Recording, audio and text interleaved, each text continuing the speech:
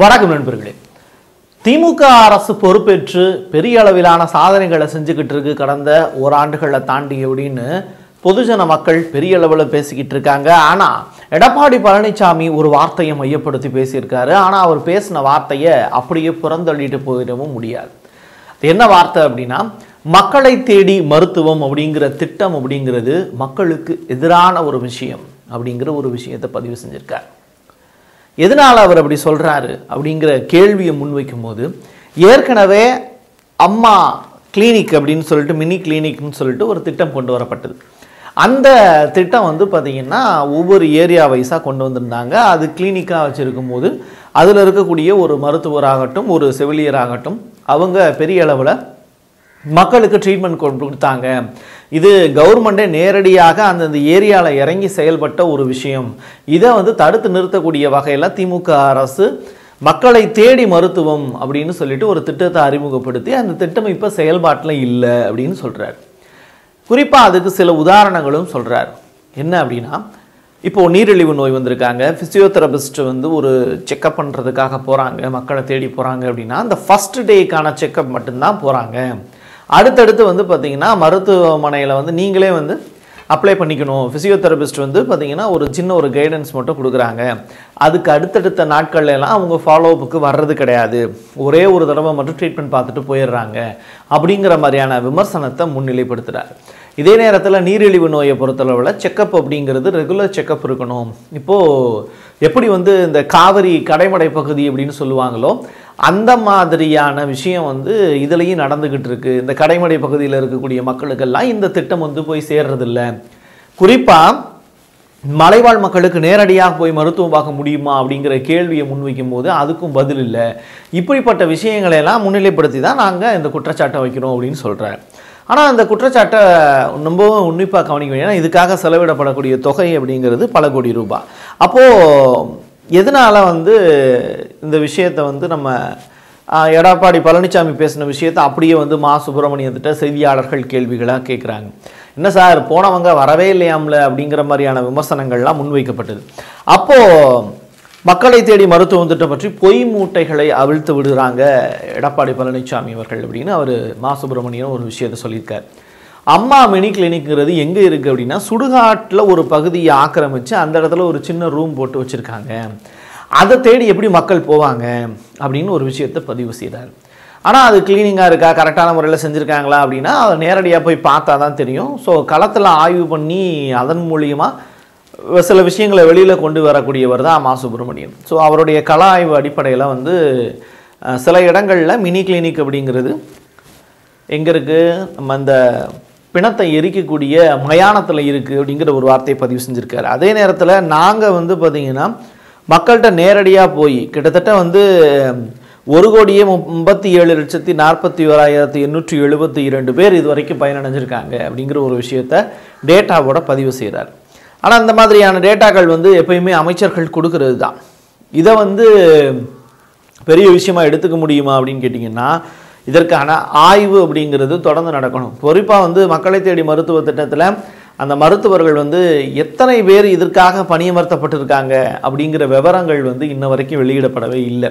அது ஒரு பெரிய குற்றச்சாட்டாக இருக்குது குறிப்பாக அந்தந்த மாவட்டத்தில் அந்தந்த ஊராட்சியில் அந்தந்த நகராட்சியில் அந்தந்த கிராம பகுதிகளில் இருக்கக்கூடிய செவிலியர்கள் தான் இதை போய் ட்ரீட்மெண்ட் பார்க்குறாங்க அப்படிங்கிற ஒரு விஷயமும் பதிவு செய்கிறாங்க ஆனால் அந்த காலத்துலலாம் செவிலியர்கள் தான் எல்லா வேலையும் செய்வாங்க. இப்போ செவிலியர்கள் போனால் என்ன தவறு அப்படிங்கிற ஒரு குறையும் சொல்லப்படுது. ஆனால் மருத்துவர்கள் நேரடியாக போகும்போது அவங்களுக்கு கொடுக்கக்கூடிய ட்ரீட்மெண்ட் அப்படிங்கிறது வேறு. ஸோ எளிய மக்களை நேரடியாக சந்திக்கும் போது மருத்துவர்களுடைய அணுகுமுறை அப்படிங்கிறது அரசு மருத்துவர்கள் வந்து எளிய முறையில் அவங்கள புரிஞ்சுக்க முடியும். அதே நேரத்தில் லோக்கல் லாங்குவேஜ் வந்து அவங்களுக்கு தெரிஞ்சது அப்படிங்கிறதுனால நம்முடைய தமிழ்நாட்டு மருத்துவர்கள் போகிறதுங்கிறது எளிமையான முறை. ஆனால் ட்ரைனிங் அடிப்படையில் வந்து நீட் படிச்சுட்டு வந்து வெவ்வேறு மாநிலங்களில் இருந்து இங்கே போஸ்டிங் வர்றவங்களையும் சில பேரை வந்து போஸ்டிங்கில் போட்டு அவங்கள வந்து மக்களை போய் சந்திக்க வைக்கும்போது அவங்களுக்கு லாங்குவேஜ் அப்படிங்கிறது இங்கே பிரச்சனையாக இருக்கிறதுனால ஒரு ஹிந்தி தெரியாத மாநிலத்தில் போய் வந்து எப்படி வந்து பணியாற்ற முடியாதோ அதே மாதிரி தமிழ் தெரிஞ்ச ஒரு மாநிலத்தில் ஹிந்தி தெரிஞ்ச நபர்கள் மட்டும் இங்கிலீஷ் தெரிஞ்ச நபர்கள் மட்டும் பணியாற்றுவது அப்படிங்கிறது சாதாரண எளிய மக்களுக்கு ட்ரீட்மெண்ட் கொடுக்கக்கூடிய வகையில் இல்லை அப்படிங்கிற ஒரு யதார்த்தமான உண்மையையும் பதிவு செய்ய வேண்டிய தேவை இருக்குது ஆனால் மருத்துவர்களும் போகிறாங்க போகிறாங்க அப்படின்னா அந்த இடத்துல வந்து செ பெரிய அளவிலான சுணக்கங்களும் இருக்குது அப்படிங்கிற ஒரு விஷயத்தையும் மக்கள் பதிவு செய்கிறாங்க ஸோ ஒரே ஒரு தடவை மட்டும் வந்துட்டு ட்ரீட்மெண்ட் கொடுத்துட்டு போகிறதுக்கு நாங்கள் டைரெக்டாகவே வந்து ஒரு ப்ரைவேட் ஹாஸ்பிட்டல் நோக்கி போயிடுவோமே அப்படிங்கிற யதார்த்தமான ஒரு குரலையும் பதிவு செய்கிறாங்க திட்டங்கள் நல்ல திட்டங்கள் தான். அது செயல்பாட்டுக்கு வரும்போது அது எப்படி இருக்குது அதில் இருக்கக்கூடிய குறைகள் என்ன அப்படிங்கிறத அரசு ஆராய்ஞ்சு மக்களுடைய நலன் சார்ந்த திட்டங்களை செயல்படுத்தும் போது தொடர்ந்து திமுகவை அந்த ஆட்சி அரியணையில் மக்கள் வைக்கிறதுக்கு தயங்க மாட்டாங்க அப்படிங்கிற விஷயத்தோட இதை நிறுத்திக்கலாம். இந்த செயற்கைக்கோளை நிலைநிறுத்தும் பணியில் தோல்வியடைந்த எஸ்எஸ்எல்வி ராக்கெட் அப்படிங்கிற ஒரு செய்தி இந்த எஸ்எஸ்எல்வி ராக்கெட் வெற்றிகரமாக விண்ணில் செலுத்தப்பட்டுருச்சு அப்படின்னு சொல்லிட்டு நேற்று காலையிலிருந்தே பெரிய அளவிலான செய்திகள். ஆனால் விஞ்ஞானிகள் எல்லாம் ஆரவாரம் கைத்தட்டல்களுக்கு பிறகு வந்து செயற்கைக்கோள் வந்து நிலைநிறுத்தப்படக்கூடிய அந்த நேரத்தில் ஃபஸ்ட்டு செகண்ட் தேர்டு அப்படிங்கிற அந்த லான்ச் ஆகக்கூடிய அந்த நேரத்தில் தொடர்பு வந்து துண்டிக்கப்பட்டதாக இஸ்ரோவினுடைய தலைவர் வந்து சோம்நாத் வந்து ஒரு அறிவிப்பு கொடுக்குறார். அந்த அறிவிப்பு கொடுத்த உடனேயே வந்து பெரிய அளவிலான அமைதி. ஆசாதிசாட் அப்படிங்கிற செயற்கைக்கோள் அப்படிங்கிறது கிட்டத்தட்ட எழுநூற்றி ஐம்பது மாணவிகள் ஒன்றாக சேர்ந்து உருவாக்கிய அந்த செயற்கைக்கோள். இப்போ ராக்கெட் எஸ்எஸ்எல்வி ராக்கெட் அப்படிங்கிறது ஒரு குறிப்பிட்ட தூரம் போனதுக்கப்புறம் அதை லான்ச் பண்ணும். இங்கே செயற்கைக்கோள் ஃபெயிலியரா ராக்கெட் ஃபெயிலியரா அப்படின்னு கேட்டிங்கன்னா செயற்கைக்கோள் சரியான செயற்கைக்கோளை தான் வடிவமைச்சிருக்காங்க. ஆனால் ராக்கெட் அப்படிங்கிறதுல தான் இங்கே பெரிய அளவில் பிரச்சனை இருக்குது முந்நூற்றி ஐம்பத்தி ஆறு கிலோமீட்டர் பயணப்பட்டு அந்த இடத்துல லான்ச் பண்ண வேண்டிய அந்த ராக்கெட்டு சரியான சிக்னல் கிடைக்காததுனாலையும் சரியான அளவில் கண்காணிப்பு இல்லாததுனாலையும் திட்டமிடுதல் இல்லாததுனாலையும் சோம்நாத் தலைமையிலான டீம் வந்து ஃபெயிலியர் ஆகி எழுநூற்றி ஐம்பது மாணவிகளுடைய உழைப்பை பாழாக்கியிருக்கு. இதுதான் யதார்த்தமான உண்மை. இஸ்ரோவில் அங்கே ஸ்ரீஹரிகோட்டாவில் இருக்கக்கூடிய நமக்கு தெரிந்த விஞ்ஞானிகளும் அங்கே இருக்கக்கூடிய செய்தியாளர்கள்ட்ட விசாரிக்கும் போது இவங்க சரியாக பிளான் பண்ணலை. குறிப்பாக எழுநூற்றி ஐம்பது மாணவிகளுடைய உழைப்பை வந்து வீணாக்கியிருக்காங்க. இந்த ஆசாதி தோட்டு செயற்கைக்கோள் அப்படிங்கிறது பெரிய அளவிலான சக்ஸஸ் ஆகக்கூடிய ஒரு விஷயம். ஆனால் சிக்னல் துண்டிக்கப்பட்டிருக்கு அப்படின்னா இந்த முந்நூற்றி ஐம்பத்தி ஆறு கிலோமீட்டர் தொலைவை போய் லான்ச் பண்ண வேண்டிய நேரத்தில் முந்நூற்றி ஐம்பத்தாறு கிலோமீட்டர் இன்ட்டு எழுபத்தி ஆறு கிலோமீட்டர் இந்த உயரத்தில் போய் அது லான்ச் ஆகிருக்கு அதனால தான் அந்த செயற்கைக்கோளினுடைய சிக்னல் வந்து கட் ஆகிருக்கு ஸோ நம்ம பிளான் பண்ணது இந்த ஹைட்டு ஆனால் அதை தாண்டி வந்து சில தூரங்களை கடக்கும்போது அதுக்கான சிக்னல் வந்து கட் ஆயிருங்கிறது சாமானியனுக்கும் புரியக்கூடிய விஷயம்தான். ஸோ இந்த இடத்துல தான் நம்ம ஃபெயிலியர் ஆகிருக்கோம் ஸோ எஸ்எஸ்எல்வி ராக்கெட் லான்ச் ஆன இடம் தப்பு. ஸோ செயற்கைக்கோளை நிலைநிறுத்தணும் அப்படின்னா செயற்கைக்கோள் சரியான செயற்கைக்கோள் தான். ஆனால் அதற்கான சிக்னலை வந்து சரியான இடத்துல போய் லான்ச் பண்ணணும்ல. அந்த இடத்துல ஃபெயிலியர் ஆகிருக்கு அப்படிங்கிற ஒரு விஷயத்தை பதிவு செஞ்சுருக்காங்க. இது எல்லாத்தையும் தாண்டி பாதை மாறி போன எஸ்எஸ்எல்வி டி ஒன் ராக்கெட் அப்படிங்கிற செய்தி தான் இன்னைக்கு பெரிய அளவில் பேசுபொருளாக மாறியிருக்கு. தொடர்ந்து இஸ்ரோ எடுக்கக்கூடிய முயற்சிகள் இஸ்ரோவினுடைய தலைவர் சிவன் இருந்தப்போ கூட பெரிய அளவிலான ஒரு ராக்கெட் லான்ச் வந்து பிளான் பண்ணியிருந்தாங்க. அப்போ வந்து நம்முடைய பிரதமர் நரேந்திர மோடி கூட நேராக வந்திருந்தார். இப்படி பெரிய அளவிலான திட்டம் தொடர் தோல்விகளுக்கு மத்தியில் தான் இஸ்ரோவினுடைய தலைவர் சிவன் வந்து மாற்றப்பட்டார். அதுக்கப்புறம் இப்போ சோம்நாத் வந்து கையில் எடுத்திருக்காரு. இதெல்லாத்தையும் தாண்டி நம்முடைய இஸ்ரோ அப்படிங்கிறது பல்வேறு செயற்கைக்கோள்களை வந்து வானத்தில் வந்து நிலைநிறுத்தியிருக்கு. இது ரொம்ப முக்கியமான ஒரு விஷயம். ரஷ்யா அமெரிக்கா உள்ளிட்ட போட்டி போட்டு வந்து உதாரணமாக சொன்னால் அமெரிக்காவினுடைய ஸ்பேஸ் எக்ஸ் கூட வந்து பெரிய அளவில் செயற்கைக்கோள்களை வந்து வானத்திலேயே மோதி சண்டையிடக்கூடிய நிகழ்வுகள்லாம் நடந்துக்கிட்டு இருக்கு. இப்படி பூமியை தாண்டி வானத்தில் வந்து யார் வந்து பெரிய அளவில் வட்டமிட போகிறா அப்படிங்கிற ஒரு விஷயத்தை வந்து தொடர்ந்து உன்னிப்பாக கவனிச்சுக்கிட்டு இருக்கு உலகம். அப்துல் கலாம் ஐயா வந்து பொக்ரானில் அணுகுண்டு சோதனை செய்தது தொடங்கி இன்னைக்கு அதையும் தாண்டி உல இந்த உலகத்தை தாண்டி வானியல்லையும் பெரிய அளவிலான சாகசங்களை செய்கிறதுக்கு இந்திய இளைஞர்கள் தயாராகிட்டு இருக்காங்க. அதற்கு சப்போர்ட் பண்ணக்கூடிய வகையில் அறிவியல் அறிஞர்களும் வந்து முயற்சி எடுக்கணும் அப்படிங்கிறது தான் நம்முடைய தாழ்மையான வேண்டுகோளாக இருக்குது அதுக்கப்புறம் உள்ளூரை கடந்து உலக செய்திகளை பார்க்கும்போது எச்சரிக்கை. யாருக்கான எச்சரிக்கை அப்படின்னா போர் ஒத்திகையை நிறுத்துமாறு சீனாவுக்கு எச்சரிக்கை விடுத்திருக்கு அமெரிக்கா. சர்வதேச நாடுகள் அமெரிக்கா மட்டும் கிடையாது சர்வதேச நாடுகள் எல்லாமே வலியுறுத்தியிருக்கு என்னப்பா ஒரு பக்கம் வந்து உக்ரைனுக்கும் ரஷ்யாவுக்கு இடையில் போர் வந்தது அதை நிறுத்த முடியல. ரஷ்யாவினுடைய அதிபர் புதின் வந்து வெவ்வேறு உடைகளில் சுற்றிக்கிட்டு இருக்காரு. அவர் நடந்து போகக்கூடிய அவர் வந்து அவரே வந்து புதின் கிடையாது அப்படிங்கிற மாதிரியான விமர்சனங்கள்லாம் முன்வைக்கப்பட்டுக்கிட்டு இருக்கு உக்ரைன் சைட்லேருந்து இருந்து. ஆனால் உக்ரைன் வந்து டோட்டலாக சின்ன ஆயிடுச்சு அந்த போர்லாம் முடிவுக்கு வந்துருச்சு. மக்கள் வந்து மருத்துவ மாணவர்கள் போய் படிக்க போயிட்டாங்க. நம்ம மாணவர்களே இங்கே உக்ரைனில் போய் படிச்சுக்கிட்டு இருக்காங்க அப்படிங்கிற விஷயம்தான். போருங்கிறது வந்து அந்த நாட்டை சின்ன பின்னமாக சிதைச்சி விட்டுருச்சு அமெரிக்கா ரஷ்யா.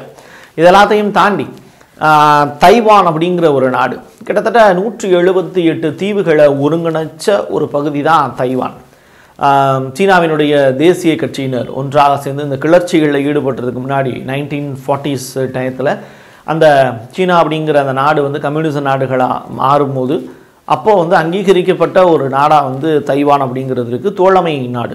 எப்படி ரஷ்யாவிலிருந்து ஒரு பன்னெண்டு நாடுகள் ஒன்றாக கூற்றாக இருந்து ஒரு சோவியத் ரஷ்யா அப்படிங்கிற ஒரு கூட்டமைப்பு உருவாக்குனாங்களோ அது எப்படி ப கொஞ்சம் கொஞ்சமாக துண்டாடப்பட்டதோ அது மாதிரியான ஒரு நிகழ்வு அப்படிங்கிறது சீனா சுதந்திரம் அடைஞ்ச அந்த காலகட்டத்தில் சீன தேசிய கட்சியினர் எல்லாருமே வெவ்வேறு தளங்களில் போய் இருந்த இடங்கள் தான் தைவான். அப்படி சீனாவினுடைய சகோதர சகோதரிகள் எல்லாருமே ஒன்றாக இருக்கக்கூடிய ஒரு இடம் தான் தைவான். அந்த தைவான் வந்து இன்னைக்கு அமெரிக்காவுக்கு சப்போர்ட் பண்ணுது அப்படிங்கிற ஒரு விஷயத்தை முன்னிலைப்படுத்தி யார் வந்து போர் தொடுக்கிறா அப்படின்னா சீனாவே போர் தொடுக்கிறதுக்கு தயாராக இருக்கு அதற்கான எச்சரிக்கை வந்து தொடர்ந்து வந்து பார்த்திங்கன்னா நான் வந்து உங்கள் மேலே போர் தொடுக்கிறதுக்கு நான் ஆயத்தமாக தான் இருக்கேன். நான் ஒன்றும் சாதாரணமான ஆள் கிடையாது அப்படிங்கிறத சீனா வந்து தொடர்ந்து முன்னிலைப்படுத்திக்கிட்டு இருக்கு. அதுக்கான போர் சாகச நிகழ்வுகளையும் தைவானுடைய கடல் பகுதியில் நிகழ்த்திக்கிட்டு இருக்கு. ஒத்திகை நிகழ்த்திக்கிட்டு இருக்கு. இந்த ஒத்திகையை பார்த்த அமெரிக்கா உள்ளிட்ட சர்வதேச நாடுகள் எல்லாமே இது தேவையில்லாத வேலை அப்படின்னு சொல்கிறாங்க ஆனால் ஒரே ஒரு விஷயத்தை என்ன முன்னிலைப்படுத்த வேண்டிய தேவை இருக்குன்னா அமெரிக்காவினுடைய பார்லிமெண்ட்டினுடைய பிரதிநிதிகள் சபையினுடைய சபாநாயகர் நான்சி ஃபெலோலோ இந்த தைவான் நாட்டுக்கு போயிட்டு வந்ததுக்கப்புறம் தான் இந்த பிரச்சனையே உருவாகுது. அப்போ அமெரிக்காவோட நெருக்கம் காட்டுறத யாருமே விரும்பலை. குறிப்பாக சீனா ரஷ்யா மாதிரியான கம்யூனிச நாடுகள் வந்து இதை விரும்பலை. ஸோ ரஷ்யாவில் ஏன் வந்து உக்ரைன் மேலே பெரிய அளவில் போர் தொடுத்தாங்க அப்படின்னா அந்த கூட்டமைப்பில் போய் சேரக்கூடாது அப்படிங்கிறது தான். ரஷ்யாவை அமைக்க அமெரிக்காவினுடைய அந்த கூட்டமைப்பில் போய் சேரக்கூடாது அப்படிங்கிறது.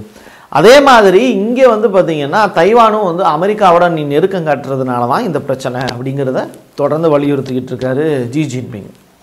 இப்படிப்பட்ட சூழ்நிலையில் தொடர்ந்து வந்து ஒருத்தருக்கு ஒருத்தர் போருக்கு தயார் அப்படிங்கிற ஒரு அறிவிப்பை வெளியிடுறாங்க. தைவானும் வந்து கிட்டத்தட்ட ஆயிரத்தி ஐநூற்றி எண்பதுக்கும் மேற்பட்ட ஆப்புகள்லாம் டிசைன் பண்ணாங்க. அதில் செலக்டிவாக சில ஆப்புகள் மூலிமா ரெடி பண்ணி ஐயாயிரம் பதுங்கு குழிகள் அந்த தைவான் நாட்டில் இருக்கக்கூடிய மக்களுடைய ஃபோன் மட்டும் யூஸ் பண்ணுற மாதிரியான ஒரு ஆப்பை வந்து ரெடி பண்ணியிருக்காங்க. அந்த ஆப் வந்து என்ன சொல்கிறாங்க அப்படின்னா அப்ளிகேஷன் அந்த ஆப்பில் வந்து டவுன்லோட் பண்ணதுக்கப்புறம் தைவானில் இருக்கக்கூடிய பதுங்கு குழிகள் எது அப்படிங்கிறத எளிமையாக மக்கள் அடையாளம் காண முடியும். அப்போ அந்த பதுங்கு குழிகளில் போய் நீங்கள் மறைஞ்சிக்கலாம்னு சொல்லிட்டு கிட்டத்தட்ட ஐயாயிரத்தி நூறு பதுங்கு குழிகளை ரெடி பண்ணியிருக்காங்களாம் தைவான் அரசு. இந்த வேலையெல்லாம் நடந்துக்கிட்டு இருக்கு. ஸோ எப்படி வந்து உலகளாவிய அளவில் சர்வதேச பிரச்சனைகள் வந்து நிலவிட்டு இருக்குங்கிறதையும் நம்ம புரிஞ்சுக்க வேண்டிய தேவை இருக்குது இப்படி ரஷ்யாவுக்கும் உக்ரைனுக்கும் எதனால் போர் நடக்குதோ அதே மாதிரியான ஒரு நிகழ்வு தான் இன்னைக்கு நம்ம சீனா போர் ஒத்திகை நடந்துகிட்டு இருக்கக்கூடிய தைவானுடைய கடல் பகுதியிலையும் இருக்குங்கிற யதார்த்தமான ஒரு உண்மையை புரிஞ்சுக்க வேண்டிய தேவை இருக்குது முன்னாடிலாம் வந்து அமெரிக்கா ஒரு நாட்டு மேலே போர் தொடுக்குது. குறிப்பாக ஈரான் ஈராக்கு மேலெல்லாம் பெரிய அளவில் ஆதிக்கம் செலுத்தினப்போ பெரிய அளவிலாம் எதிர்ப்புகள் கிளம்பல. அப்போ அமெரிக்காவில் பெரிய அளவிலான ஆதிக்க சக்தி அப்படிங்கிறது இருந்தது.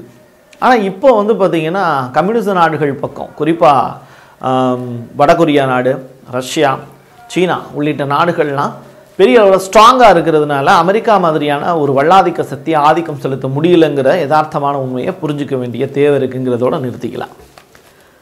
ராஜதந்திரம். இப்போது வெளிநாடுகளை பற்றி தான் நம்ம பார்த்துக்கிட்டு இருக்கோம். ஆனால் வெளிநாடுகளில் நம்முடைய அண்டை நாடாக இருக்கக்கூடிய இலங்கையில் நிலவக்கூடிய பிரச்சனை. இலங்கையில் ஒரு பிரச்சனை அப்படின்னா இந்தியா எப்பயுமே கை கொடுக்கறதுக்கான காரணம் என்ன அப்படின்னா இலங்கையினுடைய அந்த பூகோள அமைப்பு அப்படின்னு சொல்லுவாங்க. இலங்கையில் இருக்கக்கூடிய திரிகோணமலையிலிருந்து உலகத்தினுடைய எந்த நாட்டிலையும் எளிமையாக அட்டாக் பண்ணக்கூடிய ஒரு வாய்ப்பு இருக்குது இல்லையா? அப்போது இலங்கை யார் பக்கம் நிற்கிது அப்படிங்கிற கேள்வி இருக்குது இது தொடர்ந்து தான் தொடர்ந்து பல ஆண்டுகளாக சீனாவின் பக்கம் நின்ற இலங்கை வந்து பல கோடி ரூபாய்க்கு வந்து அந்த சீனாட்ட இருந்து ஏமாந்து இன்னைக்கு துறைமுகங்கள் எல்லாத்தையும் சீனாட்ட நைன்டி நைன் இயருக்கு வந்து குத்தகைக்கு விட்டுருக்காங்க. இதை பயன்படுத்தி சீனா என்ன பண்ணுதுன்னா தன்னுடைய உளவு கப்பலை டைரக்டாக இலங்கையில் கொண்டு வந்து நிப்பாட்டுறதுக்கான வேலையை செய்யுது. இப்போது இந்த உளவு கப்பலை கொண்டு வந்து நிப்பாட்டும் போது என்ன மாதிரியான பிரச்சனைகள் வரும் அப்படிங்கிறது எல்லாருக்கும் தெரிஞ்சது தான் குறிப்பாக அந்த உளவு கப்பல்னால் தன்னுடைய நிற்கக்கூடிய பகுதியிலிருந்து சுற்று வட்டாரத்தில் இருக்கக்கூடிய இரநூற்றி ஐம்பது கிலோமீட்டர் வரைக்கும் உளவு பார்க்க முடியும். நம்முடைய கூடங்குளம் அணு உலையாகட்டும் தூத்துக்குடியில் இருக்கக்கூடிய அணு நிலையங்களாகட்டும் இப்படி தமிழ்நாடு மட்டுமல்ல தமிழ்நாட்டை கடந்து இந்தியா முழுவதும் இருக்கக்கூடிய சில பகுதிகளை இலங்கையில் இருக்கக்கூடிய சீன உளவு கப்பல்னால் நோட்டமிட முடியும். இப்போ இந்த சீன உளவு கப்பல் அப்படிங்கிறது எங்கே இருக்குது அப்படின்னா தொடர்ந்து வந்து பார்த்திங்கன்னா அது கடல் பகுதியில் சுற்றிக்கிட்டு இருக்குது ஆனால் ஒரு பக்கம் என்ன அப்படின்னா இந்த சீன உளவு கப்பல் இலங்கைக்கு வர்றதுனால இந்தியாவுக்கு பெரிய அளவிலான பாதிப்புகள் இருக்கும் அப்படின்னு சொல்கிறாங்க யுவான் வாங் ஃபைவ் அப்படிங்கிற இந்த உளவு கப்பல் வருகின்ற பதினோராம் தேதியிலிருந்து பதினேழாம் தேதி வரைக்கும் இந்த இலங்கையில் இருக்கக்கூடிய அந்த அம்பன் தோட்டா அப்படிங்கிற துறைமுகத்துக்கு வர்றதுக்கு ஏற்பாடுகள் செஞ்சுருக்காங்க. ஆனால் இதை வரக்கூடாது அப்படின்னு சொல்லிட்டு இந்திய அரசு ஒரு ராஜதந்திர நடவடிக்கை ஈடுபட்டிருக்கு. அதில் மோடி சக்ஸஸ் ஆகிருக்காரா அப்படின்னு கேட்டிங்கன்னா முதல் கட்ட சக்ஸஸ் அப்படின்னு தான் சொல்லணும். காரணம் என்ன அப்படின்னா இலங்கையில் இருக்கக்கூடிய அந்த அரசோட தொடர்ந்து நெருக்கமான ஒரு உறவில் தான் நம்முடைய இந்திய அரசு இருக்குது குறிப்பாக இலங்கைக்கு வந்து பொருளாதார நெருக்கடி ஏற்பட்டப்போ சீனா பெரிய அளவிலான கழுத்தை பிடிச்சி நெரிக்கக்கூடிய வகையில் சில விஷயங்களை செஞ்சோம். ஆனால் இந்தியாவை பொறுத்தளவில் நிறைய உதவிகள் செஞ்சுருக்கோம். கிட்டத்தட்ட இருபத்தி ஐந்தாயிரம் கோடி ரூபாய்க்கு வந்து கடன் உதவி நம்ம கொடுத்துருக்கோம். அது மட்டும் இல்லாமல் பாதிக்கப்பட்ட மக்களுக்காக வந்து பொருளுதவி கொடுத்துருக்கோம். கச்சா எண்ணெய் கொடுத்துருக்கோம். பெட்ரோல் டீசல் கொடுத்துருக்கோம். இப்படி மருந்து பொருட்கள் கொடுத்துருக்கோம். இது எல்லாமே கொடுத்து அந்த மக்களை வந்து நம்முடைய அண்டை நாடான அந்த மக்களுக்கு வந்து பெரிய அளவில் கொடுத்து உதவி பண்ணிக்கிட்டு இருக்கோம். இப்போ அந்த சீன உளவு கப்பல் அப்படிங்கிறது எங்கே இருக்குது அப்படிங்கிற ஒரு கேள்வி அப்படிங்கிறது தைவான் பக்கத்தில் இருக்குங்கிறாங்க. அப்போது இது வர்றது வந்து கடல் வழியாக வர்றதுக்கு இன்னும் ஒரு மூணு நாலு நாட்களில் வந்துடுறதுக்கான வாய்ப்புகள் இருக்குது ஸோ அது வரக்கூடாது அப்படின்னு சொல்லிட்டு இலங்கை அரசு இந்திய அரசு கேட்டுக்கொண்டதன் பேரில் சீன உளவு கப்பலை வர வேண்டாம் அப்படின்னு சொல்லிட்டு இலங்கை அரசு எழுதியிருக்கக்கூடிய கடிதம் அப்படிங்கிறது இன்றைக்கி பெரிய அளவில் பேசு பொருளாக மாறியிருக்கு. இதை நம்ம ஏற்கனவே வந்து பிரசாத் சிக்னேச்சரில் பேசியிருந்தோம். குறிப்பாக வந்து இந்த அதுக்கப்புறம் தான் வந்து பார்த்திங்கன்னா அவசர ஆலோசனைகள்லாம் நடந்தது. அரசுகளுடைய அலட்சியம் அப்படிங்கிற ஒரு விஷயத்தையும் பதிவு செஞ்சுருந்தாங்க. அதுக்கப்புறம் தான் இந்தியன் கவர்மெண்ட் வந்து இந்த விஷயத்தை முன்னிலைப்படுத்தி நாட்டினுடைய நலன் கருதி அவங்கள வர வேண்டாம் அப்படின்னு சொல்லக்கூடிய நிகழ்வுகள்லாம் தொடர்ந்து நடந்துக்கிட்டு இருக்குது ஆனால் அது தடுக்கப்படுமா அப்படிங்கிற கேள்வியும் யதார்த்தமான கேள்வி தான் அதற்கான பதில் விரைவில் கிடைக்குங்கிற நம்பிக்கையில் அடுத்த செய்தியை நோக்கி நகரலாம். இப்போது இந்த ஃபைவ் ஜி அப்படிங்கிற அந்த ஏலம் அப்படிங்கிறது முடிஞ்சிருச்சு. குறிப்பாக ஒரு லட்சத்தி ஐம்பதாயிரத்தி நூற்றி எழுபத்தி மூன்று கோடி ரூபாய்க்கு அது விற்பனையாயிருக்கு அந்த அலைவரிசை அப்படிங்கிறாங்க. டூ ஜி மாதிரியே ஃபைவ் ஜி பெரிய அளவில் ஊழல் நடந்திருக்கு அப்படின்னு சொல்லக்கூடியவங்க இங்கே இருக்காங்க. ஆனால் அது பெரிய அளவில் மக்களில் அளவில் ட்ரெண்டாக இருக்கா அப்படின்னு கேட்டிங்கன்னா மக்கள் தானே ஒரு விஷயத்தை ட்ரெண்ட் ஆக்குறது. ஸோ ஃபைவ் ஜி தொழில்நுட்பம் தேவை அப்படிங்கிற ஒரு விஷயம் மக்கள்கிட்ட இருக்கக்கூடிய அந்த சமூக ஊடகத்தினுடைய பலம் அப்படிங்கிறது பெரிய அளவில் இன்றைக்கி பேசு பொருளாக மாறி இது எல்லாத்தையும் தாண்டி ஃபைவ் ஜி தொழில்நுட்பம் அப்படின்னு ஒன்று வந்தது அப்படின்னா ஒரு படத்தை வந்து வித்தின் தேர்ட்டி செகண்ட்ஸில் வந்து நம்மளால் டவுன்லோட் பண்ணிட முடியும். இன்றைக்கி இருக்கக்கூடிய மாடர்ன் வேர்ல்டில் எல்லாமே ஆண்ட்ராய்டு ஃபோன் அப்படிங்கிறது நம்முடைய கைக்கு வந்துச்சு அமெரிக்காவே வந்து ஃபைவ் ஜி தொழில்நுட்பத்தை செயல்படுத்துறதுல பெரிய அளவில் தயக்கம் வந்து காட்டுச்சு. காரணம் என்ன அப்படின்னா அந்த அலைவரிசையில் இருக்கக்கூடிய பிரச்சனைகள். இது எல்லாத்தையும் தாண்டி ஃபைவ் ஜி தொழில்நுட்பம் இந்தியாவில் வரும்போது அது எந்த அலைவரிசையில் இயங்கணும் அப்படிங்கிற ஒரு விஷயத்தையும் பதிவு செஞ்சுருக்காங்க.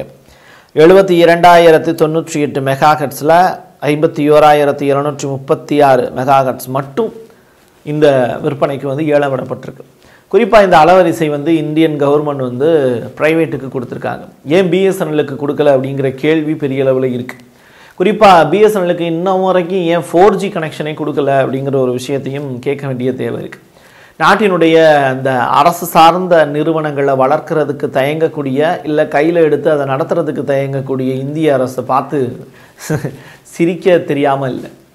ஆனால் மக்கள் நலன் சார்ந்த நடவடிக்கைகளில் அவங்க ஈடுபடுறாங்களா அப்படின்னு கேட்டிங்கன்னா அதானி அம்பானி மாதிரியான பெரிய தொழில் நிறுவனங்களை நடத்தக்கூடிய முதலாளிகளுக்கு ஆதரவாக தான் செயல்படுறாங்க. ஏன்னா தேர்தல் நேரத்தில் அவங்களுக்கு பணம் கொடுத்து உதவக்கூடிய முதலாளிகள் தான் அவங்களுக்கு பெருசை தவிர தேர்தலில் ஒரு குவார்ட்டருக்கும் கோழி பிரியாணிக்கும் ஓட்டு போட்ட மக்கள் அப்படிங்கிறவங்க பெரிய விஷயம் கிடையாதுங்கிறது தான் யதார்த்தமான சூழ்நிலை.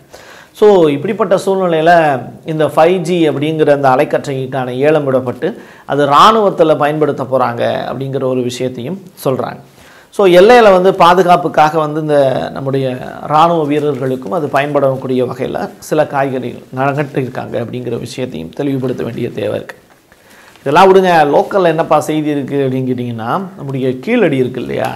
இந்த கீழடியில் எட்டாம் கட்ட அகழாய்வு பணிகள் வந்து சரிவர நடக்கலை. தமிழ்நாடு கவர்மெண்ட் தான் நடத்துகிறாங்க நிறையா ஆய்வுகள் வந்து வெளியில் வந்துச்சு. நிறையா அந்த கார்பன் டேட்டிங்லாம் வந்து பயங்கரமாக வந்து கண்டுபிடிச்சாங்க. கீழடி அப்படிங்கிறது தமிழர் நாகரிகத்தினுடைய ரொம்ப பழமையான நாகரிகம் தமிழர் நாகரிகம்ங்கிறத வெளியில் கொண்டு வந்த இடம். அப்படிப்பட்ட இடத்துல எட்டாம் கட்ட அகழாய்வு வந்து தோண்டப்பட்ட குழிகள்ங்கிறது சரியான இடத்துல தோண்டலை அப்படின்னு சொல்லிட்டு தொல்லியல் அகழ்வாராய்ச்சியாளர் கண்காணிப்பாளர் அமர்நாத் ராமகிருஷ்ணன் இந்த வேதனையாக பதிவு செஞ்சுருக்கார். இது ரொம்ப முக்கியமான ஒரு விஷயம்தான். சரி எந்த இடத்துல நம்ம இடம் தேர்வு செஞ்சு கொடுக்குறாங்களோ அந்த இடத்துல தோண்டினா தானே விஷயங்கள் வெளியில் வரும். அப்போது தேர்வு செஞ்சு கொடுக்கப்பட்ட அந்த இடத்துல வந்து தோண்டலை. ஸோ இதில் ஏதோ துள்ளுமுள் நடந்திருக்கு அப்படிங்கிற விஷயத்த அமர்நாத் வந்து ரொம்ப வேதனையோடு பதிவு செய்திருக்காரு. அது மட்டும் இல்லாமல் இது வரைக்கும் மணலூரில் அகழாய்வு பணிகள் ஏன் தொடங்கப்படலை அப்படிங்கிற கேள்வியும் கேட்டிருக்காரு. வரக்கூடிய செப்டம்பர் மாதத்தோட இந்த அகழாய்வு பணிகள்லாம் முடிக்கிறதுக்கு தமிழக அரசு திட்டமிட்டிருக்காங்க. ஆனால் இன்ன வரைக்கும் தோண்டப்பட்ட இடங்கள்லேருந்து எதுவும் கிடைக்கல அப்படிங்கிற தகவல் வந்து எங்களுக்கு ரொம்ப ஆச்சரியத்தை கொடுக்குது அப்படிங்கிற விஷயத்தையும் பதிவு செஞ்சுருக்காரு. இதை தமிழக அரசும் தமிழ்நாட்டினுடைய அமைச்சராக இருக்கக்கூடிய தங்கம் தென்னரசு அவர்களுடைய பார்வைக்கும் படக்கூடிய வகையில் நம்ம ஷேர் பண்ண வேண்டிய தேவை இருக்குது ஏன்னா ஒரு நல்ல விடயங்கள் அரசுக்கு வந்து ஐடியா கொடுக்கக்கூடிய வகையில் இருக்கக்கூடிய நபர்களை அடையாளம் கண்டு அவங்களுக்கு நம்ம தெரியப்படுத்த வேண்டியது நம்முடைய கடமை. அந்த வகையில் வந்து தங்கம் தென்னரசு மாதிரியான ஆட்களுக்கு இந்த மாதிரியான கோரிக்கைகளும் இந்த மாதிரியான புகார்களும் போகும்போது நிச்சயமாக அந்த துறை சார்ந்த அமைச்சர்கள் வந்து நடவடிக்கை எடுப்பாங்க அப்படிங்கிற நம்பிக்கையும் பெரிய அளவில் இருக்குது இதெல்லாத்தையும் தாண்டி தமிழகம் அப்படிங்கிறது காலங்காலமாக சாதியில் ஊறி போயிருக்கக்கூடிய ஒரு மாநிலம். சாதிவாரி கணக்கெடுப்பு அப்படிங்கிறது நடத்தி இடஒதுக்கீடு தரணும் அப்படிங்கிற ஒரு கோரிக்கையை வலியுறுத்தி மதுரையில் நடந்த பிற்படுத்தப்பட்ட மிகவும் பிற்படுத்தப்பட்ட சீர்மரபினர் மாநாட்டில் தீர்மானம் ஒன்று நிறைவேற்றிருக்காங்க. இப்போது இந்த தீர்மானம் நிறைவேற்றி இந்த கூட்டமைப்புகள்லாம் ஒன்றாக சேர வேண்டிய தேவை என்ன அப்படின்னா ஒரு சமூக நீதி மாநாடு மதுரையில் நடக்குது. மதுரை அப்படிங்கிறது எப்போதுமே தென் மாவட்டங்களில் ரொம்ப முக்கியமான ஒரு நகரம். அந்த நகரத்தில் நடந்த இந்த பல்வேறு சமுதாய தலைவர்கள் ஒன்று கூடி இந்த சாதிவாரி கணக்கெடுப்பு நடத்தும் போது இடஒதுக்கீடு அப்படிங்கிறது இன்னமும் ஸ்ட்ராங் ஆகும் அப்படிங்கிற ஒரு நம்பிக்கையில் சொல்கிறாங்க ஆனால் கடைசியாக வந்து பார்த்திங்கன்னா மக்கள் தொகை கணக்கெடுப்பு அப்படிங்கிறது நடந்த ஆண்டுல இருந்து இப்போ வரைக்கும் வந்து அதே ரொம்ப வருஷமாக வந்து மக்கள் தொகை கணக்கெடுப்பு அப்படிங்கிறது நடத்தப்படவே இல்லை அப்படிங்கிற ஒரு வேதனையையும் பதிவு செய்ய வேண்டிய தேவை இருக்குது சட்டவிரோதமாக முன்னேறிய வகுப்புக்கு பத்து சதவீத இடஒதுக்கீடு வழங்கின மத்திய அரசை வன்மையாக கண்டிக்கிறதா இந்த தீர்மானத்திலையும் சொல்லியிருக்காங்க. குறிப்பாக ரெண்டாயிரத்தி எட்டில் தமிழக அரசினுடைய புள்ளி விவர சேகரிப்பின்படி ரெண்டாயிரத்தி எட்டில் சாதிவாரி சமூக கல்வி பொருளாதார கணக்கெடுப்பு நடத்தி தமிழ்நாட்டில் பிசி எம்பிசி அதுக்கப்புறம் டிஎன்டி எஸ்சி எஸ்டி சமூகங்களுக்கு வழங்கப்பட்ட அறுபத்தி ஒன்பது சதவீத இடஒதுக்கீட்டை நம்ம பாதுகாக்கணும்னா ரெண்டாயிரத்தி எட்டில் எப்படி சாதிவாரி கணக்கெடுப்பு அப்படிங்கிற ஒரு விஷயத்தை நடத்தினோமோ அதே மாதிரியான மக்கள் தொகை கணக்கெடுப்பு அப்படிங்கிறது இன்றைக்கி நடத்தக்கூடிய ஒரு சூழல் வாய்ப்பை வந்து உருவாக்கி கொடுக்கணும் டிமுக கவர்மெண்ட் அப்படிங்கிற ஒரு விஷயத்தையும் இந்த மாநாடு மூலிமா சொல்கிறாங்க ஏன்னா மக்கள் தொகை அடிப்படையோட கணக்கெடுப்போட சேர்த்து இந்த சாதிவாரி கணக்கெடுப்பு அப்படிங்கிற ஒரு விஷயத்தை நடத்தினா மட்டும்தான் இடஒதுக்கீடை வந்து பேணி பாதுகாக்க முடியும் அப்படிங்கிறது இவங்களுடைய அந்த தீர்மானத்தினுடைய முக்கியமான ஒரு கோரிக்கை. இதை நிறைவேற்றி ஆகணும் அப்படிங்கிறதையும் நம்ம சொல்லிக்க வேண்டிய தேவை இருக்குது ஏன்னா மக்கள் தொகை கணக்கெடுப்பு அப்படிங்கிறது நடத்த வேண்டிய காலகட்டம் அப்படிங்கிறது நிச்சயமாக இருக்குது ஏன்னா கிட்டத்தட்ட ரெண்டாயிரத்தி எட்டுக்கு அப்புறம் கிட்ட மூணு எலெக்ஷனை கடந்து நம்ம வந்திருக்கோம். அப்போது அதுக்கப்புறம் இன்னமும் மக்கள் தொகை கணக்கெடுப்பும் சாதிவாரி கணக்கெடுப்பும் நடத்தலை அப்படின்னா அந்த இடஒதுக்கீட்டு கொள்கைக்கு ஆபத்தான ஒரு விஷயமாக மாறிடுங்கிறதையும் அரசு புரிஞ்சுக்க வேண்டிய தேவை இருக்குது கருணாநிதியினுடைய நினைவு தினம் நேற்று. உலக அளவில் பெரிய அளவில் தமிழுக்காக உழைத்த தமிழின தலைவர் அப்படிங்கிற பட்டமெல்லாம் கொடுத்து கலைஞர் அப்படிங்கிற வார்த்தைக்கு அவர் மட்டுமே சொந்தக்காரர் அப்படிங்கிற வார்த்தையை மையப்படுத்தி என்னுடைய நண்பர் கூட சொல்வார் ஒரு மனுஷன் வந்து இறந்ததுக்கு அப்புறம் தான் அவனுடைய வாழ்நாள் அப்படிங்கிறது கணக்கிடப்படும். அவன் இறந்ததுக்கப்புறம் வந்து அவனுடைய ஆண்டு கணக்கு எப்படி பெரியார் வந்து இன்னமும் வந்து அவருடைய பிறந்தநாளை நம்ம கொண்டாடிக்கிட்டு இருக்கோமோ அண்ணாவினுடைய பிறந்தநாளை கொண்டாடிக்கிட்டு இருக்கோமோ அதே மாதிரி கலைஞர் கருணாநிதியினுடைய நினைவு நாளையும் வந்து நம்ம கொண்டாடிக்கிட்டு இருக்கோம். நாலு வருஷம் ஆயிடுச்சு அப்படிங்கிறது. ஸோ இப்போது நான்காம் ஆண்டில் அடியெடுத்து வச்சிருக்காரு கலைஞர். எப்போது இறந்ததுக்கு அப்புறமும் அவரை நினைவுபடுத்தக்கூடிய வகையில் இருக்கிறார்ல. அப்போ வாழ்ந்த அவர் செஞ்ச விஷயங்கள் அப்படிங்கிறது எண்ணிலடங்காது அவர் அவருடைய பேனா எடுத்து கொடுத்த விஷயங்கள் அப்படிங்கிறது தமிழ்நாட்டினுடைய சமூக நீதிக்கு மிகப்பெரிய அளவிலான பங்களிக்கக்கூடிய வகையில் இருந்ததுங்கிறத யாரும் மறுக்க முடியாது. அப்படி மறுக்கிறவங்களுக்கு வரலாறு தெரியலை அப்படிங்கிறதையும் சொல்ல வேண்டிய தேவை இருக்குது உடன்பிறப்பே அப்படிங்கிற உயிர் சொல்ல தானே வாழ்கிறோம் அப்படின்னு முதலமைச்சர் மு க. ஸ்டாலின் தன்னுடைய ட்விட்டர் பதிவில் பதிவு செஞ்சுருக்கார். தொடர்ந்து வந்து பார்த்திங்கன்னா உறவுக்கு கை கொடுத்து உரிமைக்கு குரல் கொடுப்போம் அப்படிங்கிறதுல தெளிவாக இருந்தவர் தான் கலைஞர் கருணாநிதி. அவர் எடுத்த விஷயங்கள் அப்படிங்கிறது பெரிய அளவில் பேசப்பட்ட விஷயங்கள் பேசப்படக்கூடிய விஷயங்கள். இன்னமும் தமிழ்நாடு வந்து படிப்பறிவுலையும் சமூக நீதியை காக்கிறதுலையும் இடஒதுக்கீட்டிலையும் மக்களுக்கான அடிப்படை உரிமைகளை வாங்கி கொடுக்கறதுலையும் முன்னணியான மாநிலமாக இருக்குது அப்படின்னா அதுக்கு கலைஞர் போட்ட அந்த அச்சாணி ரொம்ப முக்கியமானது. அந்த வகையில் கலைஞருடைய அந்த நினைவு நாளில் பெரிய அளவிலான பேரணி நடத்தியிருக்காங்க வாலாஜாபாத் அந்த சாலையிலிருந்து கலைஞர் கருணாநிதி அவர்களுடைய நினைவிடம் வரைக்கும் தமிழ்நாட்டினுடைய முதலமைச்சர் மட்டுமல்ல அமைச்சர் பெருமக்கள் மட்டுமல்ல கழக தொண்டர்கள் எல்லாருமே ஒன்றா சேர்ந்து அந்த பேரணியை நடத்தி காமிச்சிருக்காங்க. அது மட்டும் இல்லாமல் பெரிய அளவிலான மாரத்தானும் நடத்தி காமிச்சிருக்காங்க. இப்படி கலைஞருடைய நினைவு நாளில் அவருடைய கொள்கைகளையும் கோட்பாடுகளையும் நினைவு கூறக்கூடிய வகையில் அரசனுடைய செயல்பாடு அப்படிங்கிறது நேற்றைய தினம் திருப்திகரமாக இருந்தது அப்படிங்கிற செய்தியோட தமிழ்நாட்டில் இந்த போதை கலாச்சாரம் அப்படிங்கிறது பெரிய அளவில் வைரலாகிட்டு தங்களுக்கு தானே போதை ஊசி போத்துக்கக்கூடிய அந்த சூழலுங்கிறது நிலவிட்டுருக்கு ஏழு பேர் வந்து நேற்றைய தினம் அப்படி கைது செய்யப்பட்டிருக்காங்க. டெல்லியிலேருந்து கொரியரில் போதை மாத்திரை வாங்கி அதை போட்டுக்கிட்ட இளைஞர்களுடைய எண்ணிக்கை அதிகமாக இருக்குது ஈரோடு அந்தியூர் பக்கத்தில் இருக்கக்கூடிய தங்களுக்கு தாங்களே வந்து அந்த மருந்துகளை செலுத்தி ஏழு பேர் வந்து சொல்லப்போனால் எல்லாமே வந்து ஸ்டூடெண்ட்ஸான்னு சொல்கிறாங்க இந்த கலாச்சாரம் அப்படிங்கிறது பெரிய அளவில் வைரலாகிட்டுருக்கு இந்த போதை மாத்திரைகள் எங்கிருந்து வருது அப்படிங்கிறத தேடி கண்டுபிடிச்சி அதை மக்கள் மத்தியிலையும் மாணவர்கள் மத்தியிலையும் கொண்டு போய் சேர்த்துடக்கூடாது அப்படிங்கிற விஷயத்தையும் மையப்படுத்த வேண்டிய தேவை இருக்குது குறிப்பாக கைதி அப்படிங்கிற படமாகட்டும் விக்ரம்ங்கிற படமாகட்டும் எல்லாமே போதை மாத்திரைகளை மைய வச்சு மையமாகப்படுத்தி தான் வந்தது. இப்போ இந்த படங்களை எல்லாம் வந்து பார்க்கும்போது போதை மீதான பெரிய அளவிலான ஒரு தாக்கம் இந்த சமூகத்தில் இருக்குங்கிறத புரிஞ்சுக்க முடியுது. அதை தடுத்து நிப்பாட்ட வேண்டிய கவர்மெண்ட்டாக அதை ரொம்ப பெரிய அளவில் கண்டுகொள்ளாமல் இருக்குது காரணம் என்ன அப்படின்னா வியாபாரம் அப்படிங்கிறது இன்றைக்கி சாதாரண ஒரு பெட்டி கடையை முத கொண்டு போதை கலாச்சாரங்கிறது கொண்டு வந்துட்டாங்க. இதை எப்படி கவர்மெண்ட் வந்து கையாள போகுது அப்படின்னா அதுதான் கேள்விக்குறி. காவல்துறைக்கு இருக்கக்கூடிய வேலைகளில் இதையும் சேர்த்து பார்க்க வேண்டிய தேவைங்கிறது அவங்களுக்கு இருக்குங்கிறது. சொல்ல வேண்டிய தேவை இருக்குது இந்த ஆப் மூலிமா நிறையா வந்து பார்த்திங்கன்னா இந்த போதை கலாச்சாரம் அப்படிங்கிறது ட்ரெண்ட் ஆகிட்டு இருக்குங்கிறாங்க. மனநல வகுப்புகள்லாம் நடத்தணும் அப்படிங்கிறாங்க. போதை பழக்கத்துக்கு மாணவர்கள் பத்து சதவீத மாணவர்கள் அடிமையாயிட்டதாக ஒரு செய்தி சேனல் பேப்பர் வந்து பார்த்திங்கன்னா அதிர்ச்சி ரிப்போர்ட் கொடுத்துருக்கு. பள்ளி பருவத்திலேயே வந்து பார்த்திங்கன்னா மாணவர்கள் போதைக்கு அடிமையாகிட்டு இருக்காங்க அப்படிங்கிற ஒரு விஷயத்தையும் ஒரு நூறு மாணவர்கள் படிக்கிறாங்கன்னா அதில் பத்து மாணவர்கள் போதைக்கு அடிமையாக இருக்காங்க அப்படிங்கிற விஷயம் வந்து உங்கள் வீட்டு பிள்ளைகளையும் எங்கள் வீட்டு பிள்ளைகளையும் உஷாராக இருங்கப்பா அப்படிங்கிறத சொல்ல வேண்டிய தேவை இருக்குங்கிறதோட முடிச்சுக்கலாம். எல்லாத்தையும் தாண்டி செஸ் ஒலிம்பியாட் அப்படிங்கிற இந்த போட்டி.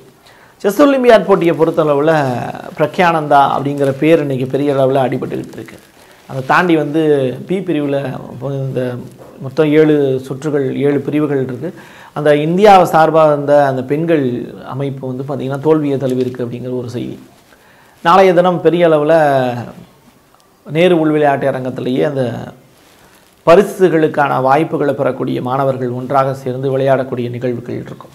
அதுக்கு முதலமைச்சர் மு க ஸ்டாலின் அவர்கள் தலைமை தாங்கி வெற்றி பெறக்கூடிய மாணவர்களுக்கு கோப்பையை வழங்கக்கூடிய நிகழ்வுகளும் இருக்குது இதில் இந்தியாவில் இருந்து தமிழ் தமிழ்நாட்டை சார்ந்த மாணவர்கள் எத்தனை பேர் முதல்வர் கையால் வந்து பரிசுகளை வாங்க போகிறாங்க அப்படிங்கிற கேள்வியும் இருக்குது செஸ் ஒலிம்பியாட் போட்டி நேரு ஒரு மோடி வந்து தொடங்கி வச்ச நாட்கள்ல இருந்து நம்முடைய நேப்பியர் பாலம் செஸ் போட்டி பெரிய அளவில் அந்த கட்டங்கள் அடுக்கி அந்த அலங்கரிக்கப்பட்ட நிகழ்வுகளை தொடங்கி குதிரையில் வந்து தம்பி அப்படிங்கிற சின்னத்தை பொருத்தி வேட்டி சட்டை அணிஞ்சு வரவேற்பு கொடுத்தது தொடங்கி உலக அளவில் வந்து இப்படி ஒரு போட்டி செஸ் போட்டி வந்து நடத்தினதே கிடையாதுன்னு சொல்லிட்டு வெளிநாட்டில் இருந்து நம்முடைய தமிழ்நாட்டில் மாமல்லபுரத்துக்கு வந்து செஸ் விளையாட வந்த வெளிநாட்டு மாணவர்கள்லாம் சொன்னது விஷயத்தில் ஆரம்பிச்சு.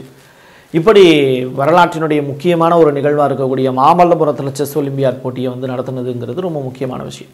ஸோ ஆரம்பித்த இடத்துக்கே வரணும் அப்படிங்கிறதுக்காக நெல் நேரு உள் விளையாட்டு அரங்கத்தில் ஆரம்பித்து இப்போ நேரு உள் விளையாட்டு அரங்கத்திலையும் முடிக்கக்கூடிய நிகழ்வுகளும் அடங்கிட்டு இருக்கு. தொடர்ந்து வந்து பார்த்திங்கன்னா ஒரு கர்ப்பிணி பெண் கூட வந்து விளையாட்டில் வந்து ரொம்ப ஆர்வமாக விளையாடும் நிகழ்வுகள்லாம் நம்ம தமிழ்நாட்டில் இருந்தது.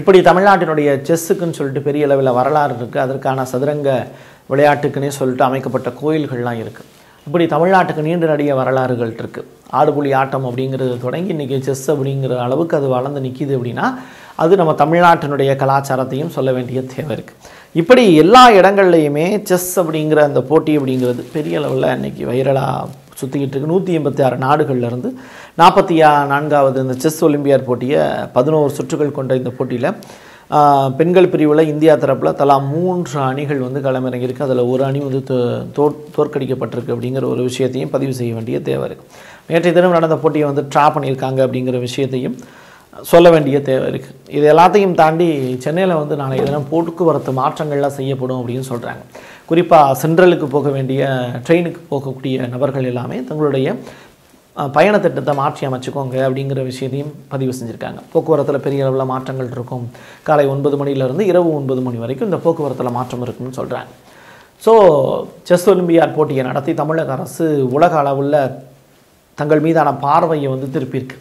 அதுக்கு தமிழ்நாட்டு முதலமைச்சர் மு க ஸ்டாலின் அவர்களை உலக நாடுகள் எல்லாருமே உன்னிப்பாக கவனிச்சுக்கிட்டு இருக்காங்க. குறிப்பாக இப்படி ஒரு மாநிலத்தில் கலாச்சாரத்தையும் பாரம்பரியத்தையும் பேணி பாதுகாக்கக்கூடிய ஒரு மாநிலத்தில் இந்த செஸ் ஒலிம்பியாட் போட்டியை நடத்தினது அப்படிங்கிறது சதுரங்க விளையாட்டு போட்டியில் பங்கு பெறக்கூடிய ஒவ்வொரு சக மாணவர்களும் மனிதர்களும் பெருமைப்படக்கூடிய விஷயம் அப்படிங்கிறத நம்ம மறுபடியும் மறுபடியும் அழுத்தமாக பதிவு செய்ய வேண்டிய தேவை இருக்குது மீண்டும் நாளை சந்திக்கிறேன். என் கையெழுத்து என் மக்களுக்கானது. நன்றி.